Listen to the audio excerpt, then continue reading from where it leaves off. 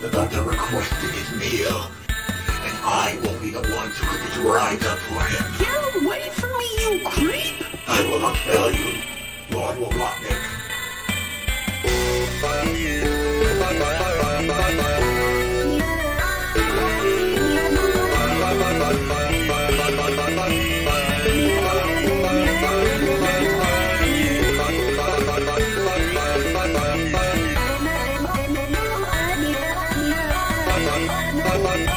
Bye-bye.